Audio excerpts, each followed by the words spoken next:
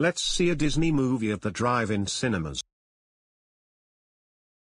Ah crap. We are stuck in a traffic jam, we cannot make it to the drive-in cinemas at 6 p.m. Oh, we didn't make it on time. The movie is about to start. Shit. The movie has just been ended. Thanks to this stupid traffic jam. We will not make it, let's go home before the cops sees us. I agree.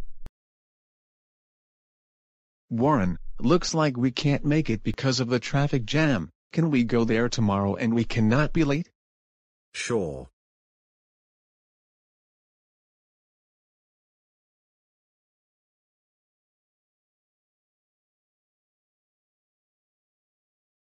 Yes, we made it just in time to the drive-in cinemas to see Aladdin, no more traffic jam. Now let's watch the movie in the car. That movie is great. Me too. Let's go home now.